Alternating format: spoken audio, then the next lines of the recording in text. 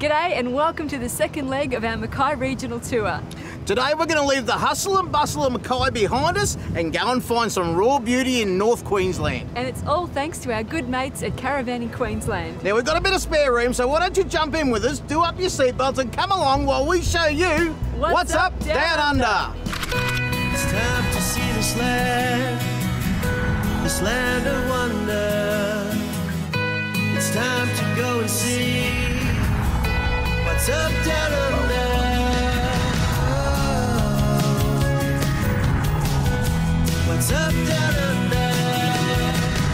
week we'll be picking up where we left off during last week's episode in the beautiful city of Mackay. From there, we'll be heading westerly, inland, to the world-renowned Eungella National Park in search of the notoriously elusive platypus, before heading up to the gorgeous beachside getaway of Bowen for a private tour of the town from some local expert guides, where we are sure to discover some hidden treasures. Last week saw us arrive in the stunning coastal Queensland hub of Mackay. We'd conceded that we only had just scratched the surface of this lovely part of the world, so we just had to see more. During our time in Mackay, we've decided to call the Mackay Marine Tourist Park home. We caught up with park manager Tony to find out all about what his place had to offer. So we've just rocked up here at Big Four Mackay Marine Tourist Park, and Tony's going to give us the good guff on everything we can find here, mate. What do you got in the park? We've got a lot of uh, features here that suits all sorts of people. The water park, big swimming pool, small swimming pool, slides. We've got uh, games rooms. We've got um, fishing down the back. Oh, fishing. But what about your facilities though? Oh, we've got um, basically the cabins, which is uh, pretty modern cabins. Um, there's quite a nice little walk around the park. We've got, uh, like I said, wildlife down the back. They can do a bit of sightseeing down there. It's very family friendly though, isn't it? You know, it really caters for everybody here. It, it does, yeah. Well, I reckon I've put together a bit of a plan while we've been having this chat. Tania, if you were to duck off and see our mates down at Jayco's to get some tips on how best we safely get ourselves up into Eungella, Tony and I better go and check out the fishing, Yep. and uh, then I'm thinking I might even check out the sunbaking because that sounds like a spectator sport to me. It is a good spectator sport, trust me. right, mate, let's go and see if we can catch one of these fish. Right, See well- you soon, mate. No Bye. problems. A key attraction to staying at this park is that you don't have to go far when you want to catch a fish. You just simply turn around. Well, this spot down here where we are at the moment is a bit of a uh, the feature spot for the park, especially early in the morning and uh, in the, late in the afternoons. There's a lot of uh, barra. We've even seen a young fella catch a whiting here, and tarpon. You don't have to be an expert angler or even have your own gear because Tony, the park manager, has got rods, bait, and all the fishing gear you need. We have got uh, tackle and uh, fishing rods up in the office, and we sell uh, small quantities of baits and lures. So we get them down here, and uh, it doesn't take them long to catch on. Out trying to pick up a barra here at Mackay. They tell me they're here. It's all about technique. I'm trying everything new. I'm trying everything old, but so far no luck. But I'm not going to give up. Fishing is not an exact science, so it was time to change tactics. I've had about a dozen casts set in front of me. Started off on one side, worked my way across, covered the ground. I've done different retrieves, I've tried everything, but now I've got a new lure on. I'm going for my secret weapon, the fluoro yellow, fluoro green, red-headed, orange-headed, big bibbed lure, and this thing has got to be the message for the fish. Just have a yarn with a few mates. I used to say that caravan park is the best equaliser out there. Yeah, where are you going to be tomorrow morning? Sitting one foot from me, doing the same thing we do every morning. We're all equal here. We've got so many places down our, our way within an hour's drive. We never go there. And as you say, caravan is an equaliser, isn't it? It really is, yeah. It's all right, Macca. Better luck next time, mate. Well, we mightn't have caught anything, but Tania Kernaghan is definitely catching some good information about safely caravanning in Eungella National Park, mate. I've just dropped into Jayco Mackay to catch up with some of the fellas to have a chat about some tips on towing before we head up to the Eungella National Park tomorrow. So come on in.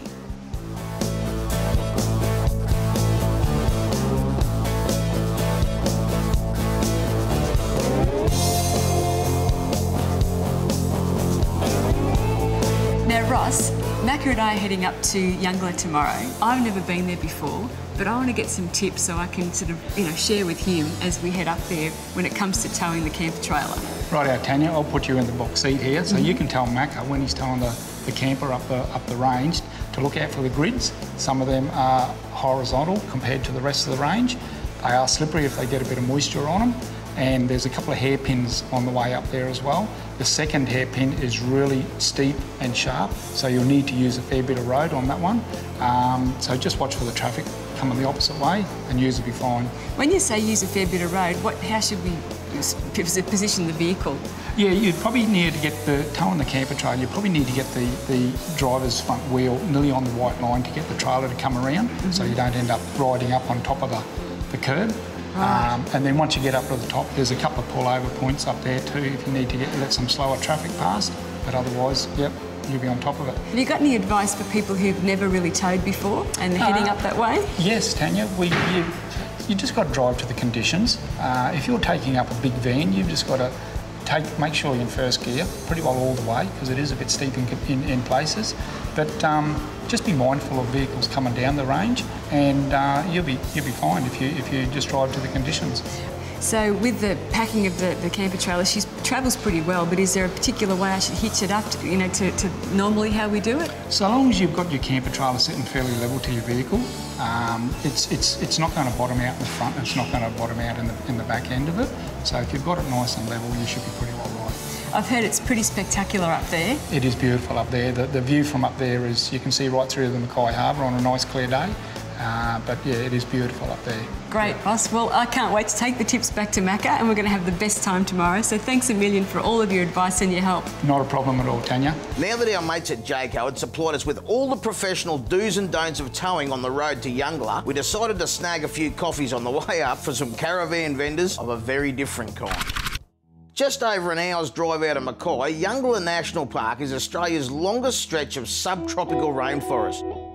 The region is famous for its platypus spotting, so we caught up with park ranger Todd Brown with the hopes he might help us find one. Hey, Todd, are we going to see platypus today? Hopefully. Is it hopefully. platypusy or platypusi? Or Platypuses. Platypuses. Platypuses. There you go. Platypuses. Platypus. No, it is. So this is what we refer to as a rock pool, uh, a new platypus viewing platform and boardwalk. Um, and a lot of people really enjoy this. That's a beautiful spot. Yeah. At the bottom, there's just an abundance of food for them. What does, yes, I was going to ask you, what does it, what They does eat insect platypus eat? larvae, they eat little shrimps, they eat freshwater crayfish or yabbies. Um, yeah, and they eat for a long time. They eat for 12 hours a day. Do they? Yeah. Wow. bit like you, Macca. A bit like that. I stop for a drink every now and then. Yeah, so, yeah, they're, they're a unique little creature, and whilst they are Bit like me abundant, it's- they, Nice they, little creature. they, they are they are pretty interesting. I mean, they're, they're very unique, but their behaviours are pretty interesting as well. Obviously, a quite an intelligent animal. It can take a signal from another animal to get on with its work. It's got it's got a lot of um, it's got a lot of intelligent features. Like it's the way it closes its eyes and ears and everything underwater and just senses through its bill um, food and it's got electroreceptors in its bill. So a lot of things like that where it might sort of be prehistoric, but it's still got all these very excellent technological things on its body. After a fair bit of time at the lookout point, we had seen plenty of turtles and bush turkeys, but the platypuses continued to elude us.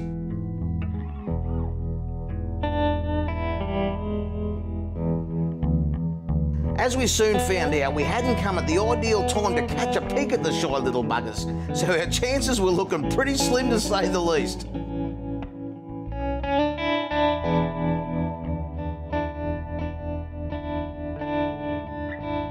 So we decided to just kick back and take our time with Ranger Todd as he told us all about the park while we soaked up its surrounding beauty.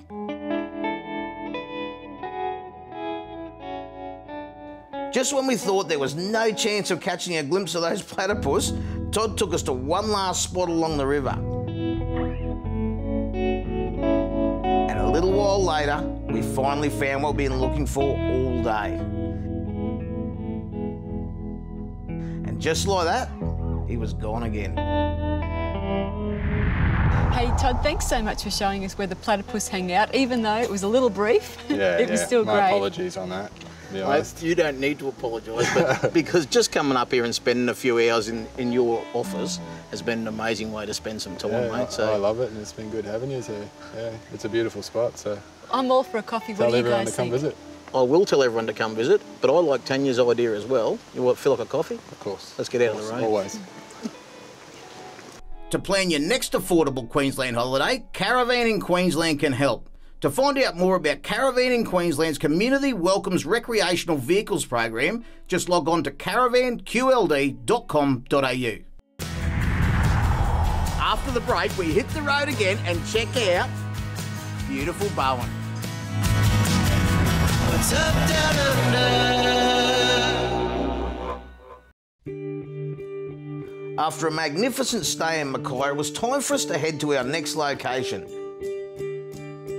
We braved a brief tropical downpour before safely arriving in Bowen at the beautiful Queen's Park Terrace Village, where we caught up with park manager Craig. You turn up in Bowen, obviously mangoes are at the front of my mind, but I had to get to the park first. So the Queen's Beach Tourist Village is where we're staying. This is an amazing park. Green grass, lush. How long you been here, Craig? Thanks, Macca. We've been here uh, 11 years in the park and um, we're loving it. We uh, have a great team of people that do plenty of work around the place, as you can see. And, and uh, apart from today, it's usually quite dry, but um, we all need the rain. And But tell us about your park. What sort of facilities have you got here, Craig? well, we've got um, 23 ensuite um, cabins, self-contained. Uh, we're, we're a four-star rated park. Um, we've got 137 powered sites. We're very popular with the um, southern tourists coming up and escaping the cold weather and that. So Can you show today- us around town a bit? Absolutely. Oh, guided, pleasure. guided tour. Pleasure. You'll get us in everywhere that no one else can get in, mate, won't you? Uh, okay, with the right right coloured notes and that, yeah. All right, sounds good. Let's do it. Our personal guided tour of Bowen is underway. First stop, Craig brings us to it, the Big Mango, the Tourist Information Centre. And we've done really well because Joe from the Tourist Information Centre has agreed to accompany us on the rest of the tour to check out Bowen. Hey, but before we go, can we grab some mango sorbet for the trip? Oh, Sounds like a great idea. Great, let's go. You know, we, we pull up at the Tourist Information Centre and we- we're eating mango sorbet. There's not one extra bit in it, it's just pureed mango, yeah. Oh my God.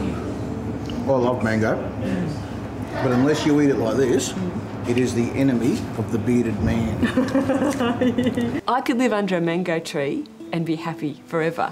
What a great way to kick off our trip of Bowen, our tour around town. if this is only the start, mm. this is going to be a great town.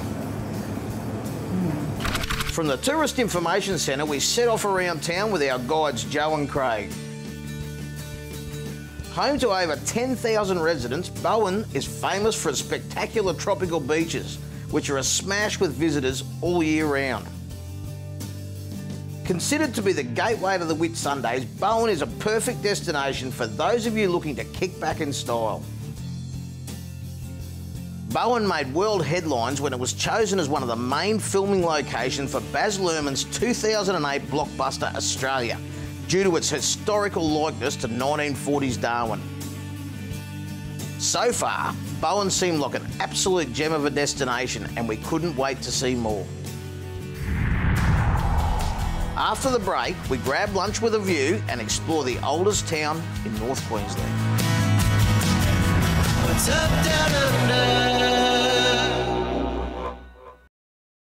Now, we all know that life's luxuries never end at Nova Caravans, and that is not going to change. But I'll tell you what can change it's your luck, because your friends at Nova have decided to give away a Bravo caravan worth more than $59,000. And you, my friend, could be in the running to win it. Inside the Bravo, you're going to discover a queen size bed, 22 inch TV, full ensuite. The roof is one piece fiberglass construction and the floor is one piece as well. There's everything that you're going to need to get off the grid in style and enjoy yourself. For all you die-hard caravanners out there, you'll notice that the Nova Bravo looks the part with its two-tone cladding. But on top of that, you get a front boot and a tunnel boot and everything else that you could possibly want to be self-sufficient in your own little patch of paradise. So get online and enter at whatsupdownunder.com.au. Now you can only enter once a day, but you can enter every day. So get busy and get on it.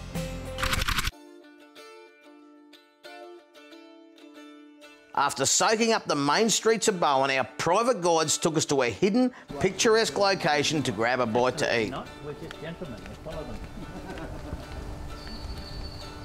We're sitting having lunch, looking at locations that are made by nature for movies. You know, there's just absolutely beautiful beaches, beautiful people, beautiful food. It just, the whole day just kept rolling, and I could not stop saying, wow at every moment. You know, there was just so much about this town. Bowen is, is a beautiful place, and I think it's the people that make a place wherever you go. Um, but here they've got a double whammy, which is the people and also the spectacular scenery that, uh, that surrounds beautiful Bowen. Well, that's lunch. The fuel tank is full. What are you going to show us next? Well, Bowen is the oldest town in North Queensland, so how about we head into town, go to the museum and check out where it all began. Let's do it. We're down here at the Bowen Historical Society and Museum, and it's just fantastic learning about the oldest town in North Queensland. Come and have a look around. There's going to be heaps of goodies in here. Oh, the museum rocked. It was great. You know, I um, I'd never been there before, and uh, I think everybody should go to their local museum and just get a little taste of their history. The other thing I, I find cool about going to museums is that every different area has had a different history. It is such a broad history. And uh, the thing I loved about the um, the museum at Bowen was that you could actually go up and, and touch a lot of the displays. Um, for example, the, the fold-away piano, it's only you know a couple of foot long, but you could actually play it. And you know, it needed a bit of a tuning, but it, it was still a lot of fun. And there's not a lot of museums around Australia where you can actually get up close and really feel you know the displays and and uh, and they made the writing really big so you could see it. You didn't need your glasses.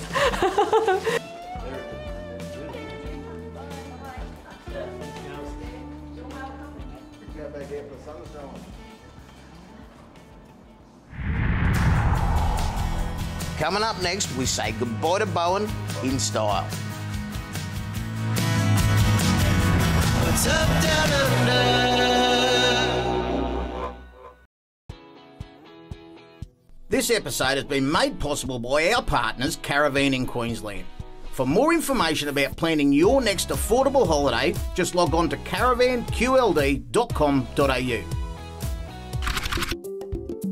Win an Armour XD walk-up camper from Armadillo Campers valued up to $35,940. To enter, subscribe to the What's Up Down Under Travel Saver card for 12 months and receive one competition entry, plus our bi-monthly magazine and bonus DVDs. Thousands of discounts on holiday parks, tours, attractions. Subscribe for two years and receive two bonus entries. To find out more, just log on to whatsupdownunder.com.au forward slash armadillo. You'll find everything you need for a great Aussie holiday at the Queensland Caravan Camping and Touring Super Show at the Brisbane Showgrounds. From the 8th to the 13th of June, hundreds of exhibitors and brand name products all at one location. Find out more by logging on to caravanqld.com.au. If you're purchasing a new caravan, then look for the RV Map manufacturer's key and you could win a Mitzi Triton. It's that easy. The RV Map manufacturer's key is a symbol of the manufacturer's commitment to build and supply product to all relevant Australian design rules, regulations, and Australian standards. See your nearest dealer and you could be a winner. For more information on the RV Map manufacturer's key and your chance to win a Mitzi Triton, just go to letsgocaravanandcamping.com.au and follow the prompts.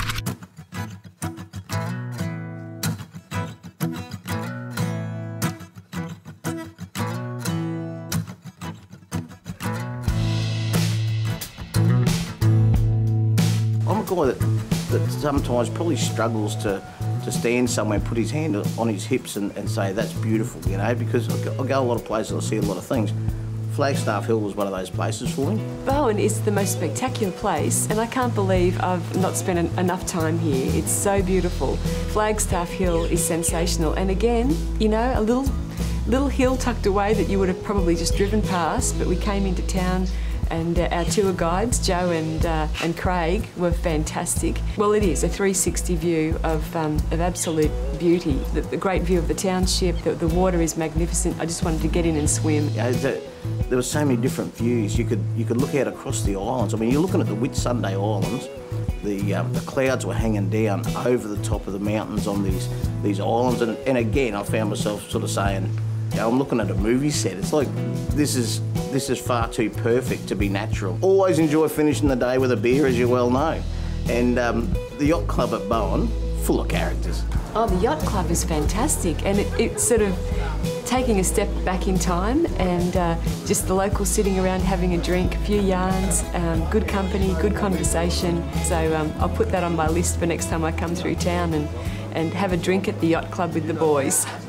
I had the best day in Bowen yesterday. I've driven up and down the Queensland coast, I don't know how many times, and every time until yesterday, just before I get to Bowen, there's a turn off. I indicate left and I keep heading north, and I've never pulled in here. It is an amazing town. I really have done myself an injustice by not visiting Bowen earlier in my life. Well, that's the end of our show for this week, but it is not the end of our tour. Next week, join us as we continue our journey up through Ayr and out to Charters Towers as the Mackay Regional Tour continues. And it's all thanks to our really good mates at Caravanning Queensland. So join us next week for more of What's, What's Up Down Under. What's Up Down Under?